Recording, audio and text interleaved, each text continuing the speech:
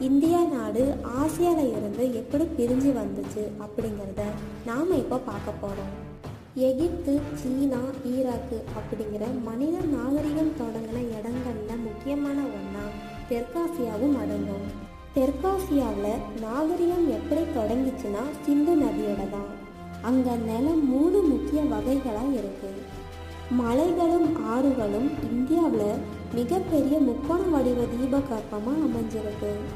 ஐம்பது அறுபது மில்லியன் வருஷத்துக்கு முன்னாடி இந்தியா மெதுவாக ஆசியாவில் இமயமலை இந்து குஷ் மலைகளை உருவாக்கியிருக்கு. கடற்கரையை தவிர கைபர் பாஸ் அப்படிங்கிற மலைகள் வழியாக ஒரு சில குறுகிய பாதைகள் மட்டும்தான் இருந்திருக்கு. இந்த பாதை தான் மக்களை இந்த நிலத்துக்குள்ள நுழையிறதுக்கு அனுமதிக்கப்பட்டிருக்கு.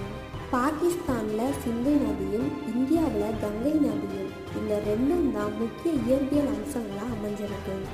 சிந்து நதி தார் பாலைவனம் அப்படின்னு அழைக்கப்படுற வறண்ட பகுதியில் இருக்கு. இந்த வறண்ட காலநிலை தான் உலகத்தில் முதல் மனித நாகரிகங்களில் ஒன்றா தோன்றியிருக்கு.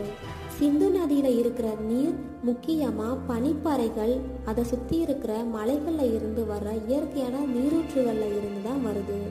இந்த பகுதியில் ஒவ்வொரு வருஷமும் குறைஞ்சது ஒரு தடவையாவது விவசாயிகளுக்கு பாசன நீரை கொடுக்குது. தெற்காசியாவில் பருவமழை காற்றோட திசையில் வருஷம் வருஷம் மாற்றத்தை ஏற்படுத்துது. இதனால் சில வரலாற்றாசிரியர்கள் சிந்து பள்ளத்தாக்கில் ரெண்டு வருஷம் வெள்ளத்தை பெற்றதாக சொல்கிறாங்க தெற்காசியாவில் இருக்கிற மிக பழமையான மனித எச்சங்கள் எழுபத்தஞ்சாயிரம் வருஷத்துக்கு முன்னாடி இருந்தது.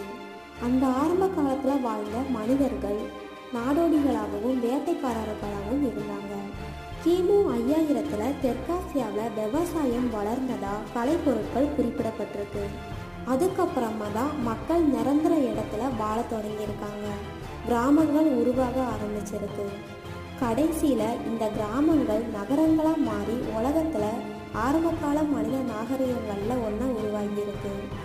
இந்த நாகரிகம் பண்டைய இந்தியா சிந்து பள்ளத்தாக்கு ஹரப்பல் நாகரிகம் அப்படின்னு பல பெயர்களால் நமக்கு அறியப்படுது.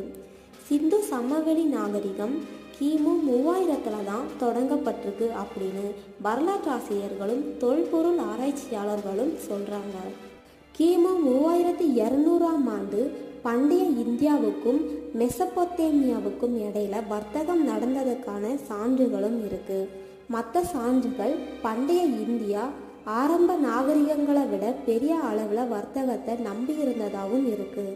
இந்தியா தெற்காசியாவில் இருக்கிற ஒரு நாடு.